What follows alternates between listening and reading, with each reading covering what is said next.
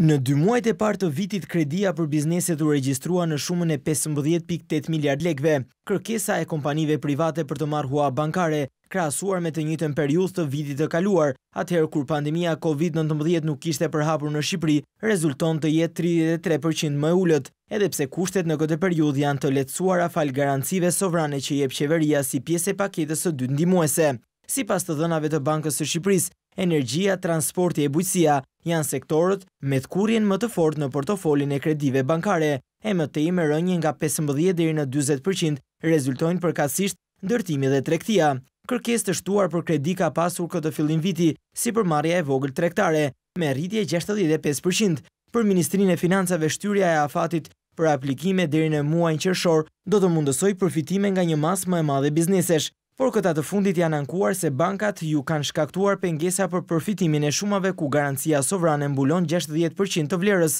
Pesëmbëdhjetë miliardë ishte vlera totale e miratuar në paketën e dytë ndihmëse që dha qeveria, prej të cilës rezulton të jetë përdorur deri më tani rreth dyzet për qind e saj.